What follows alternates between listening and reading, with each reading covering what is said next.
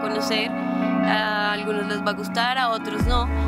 Entonces lo que yo quiero es hacer un proceso como entregándole al público canción por canción y que ellos como que vayan digiriendo si les gusta lo que es Emilia.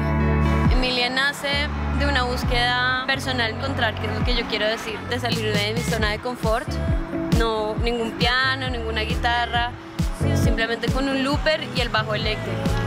Y empecé a componer desde ahí, una aproximación diferente a la que siempre había hecho en mi vida y tuvo unos resultados increíbles, sacó otra personalidad mía, sacó musicalmente otra personalidad también, a música que me gusta mucho más a mí. Siento que Emilia viene un poco a representar más lo que soy yo, pero no la imagen que tiene la gente de Juanita Carvalho.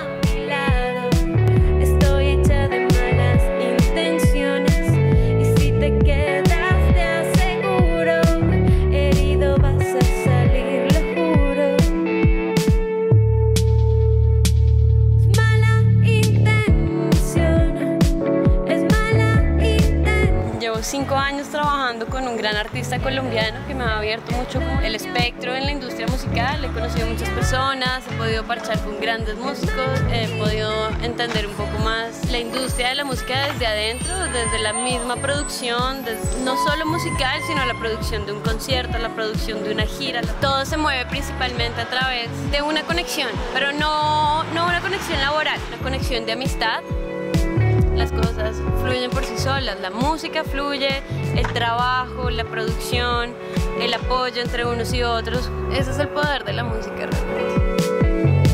rogando por